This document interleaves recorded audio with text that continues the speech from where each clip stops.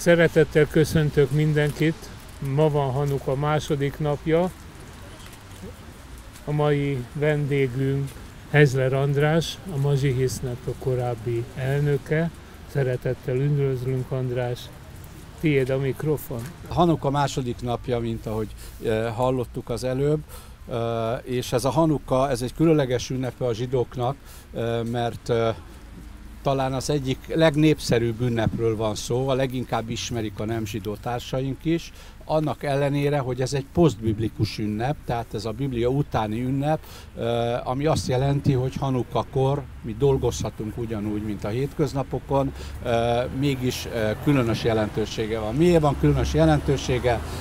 Mert egy, egy történet fűződik a Hanuka ünnepéhez, időszámításunk előtt 163-ban szír-görög uralkodó elfoglalta Jeruzsálemet, és a jeruzsálemi szentét megszentségtelenítette.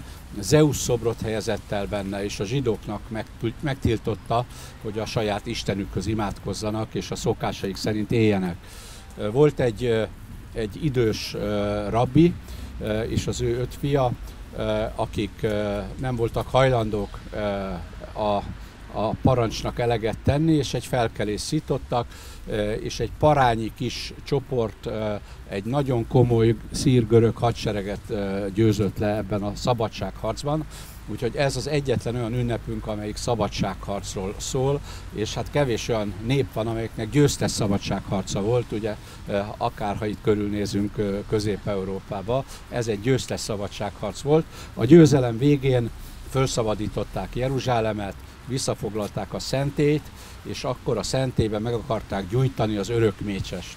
És ekkor ott egy e, kis adag, egy napra elegendő olajat, szentelt olajat találtak, és a szentelt olajnak a technológiai előállítási igénye az 8 nap lett volna, és hát ezért elkeseredetten meggyújtották az egy napra elegendő szentelt olajat, aztán csoda történt, és a szentelt olaj 8 napig égett, úgyhogy közben meg tudták csinálni. Úgyhogy ez a nagy történet, amire emlékezünk, és nagyon érdekes egyébként ennek az emlékezésnek a módja, mert a különböző korokban mindig más-más hangsúlyjal emlékeztek erre az ünnepre ami nagyon jellemző egyébként, hogy magában a Talmudba eh, ez a csodatörténet van kihangsúlyozva, erről szól csak, pedig korábban és aztán későbben is volt, amikor sokkal nagyobb jelentősége volt a politikai vetületnek, a szabadságharc vetületének, a parányi kis közösségnek, a, a nagy elnyomó közösség feletti győzelmének, és én úgy gondolom, hogy most eh, ebben az évben, ez egy örömünnep,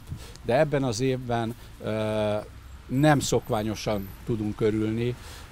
Ugye itt mindig a, a csodát szoktuk hirdetni, amikor meggyújtjuk a lángokat.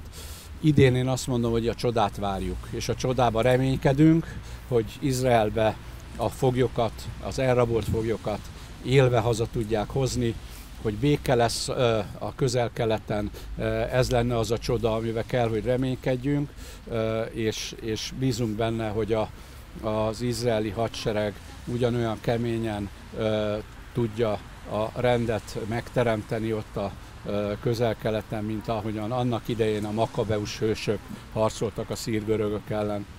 Úgyhogy ebben a reményben javaslom, hogy, hogy ünnepeljünk és gyújtsuk meg a gyertyát, és kívánjuk azt, hogy az izraeli testvéreink minél hamarabb hazatérjenek első nap három áldást kellett mondani, biztos úgy csináltátok, mert itt volt a Ceitler Ádám, aki aztán ennek a, a profia, én csak amatőrként mondom, én két áldást mondok el, ilyenkor már ennyi elég.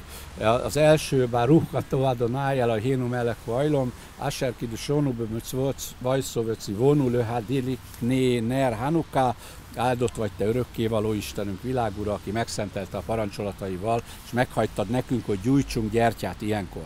A második áldás, Borukato adaj noel a hénu meleko ajlom, se osszon iszim le a szénu, vagy jámim hachém bizmán haze, áldott vagy te örökkévaló világura, ki csodákat műveltél őseinkkel az akkori idők ezen napjaiban. Úgyhogy szép hanukát, fényes hanukát és békét kívánok minnyájunknak. Köszönöm szépen!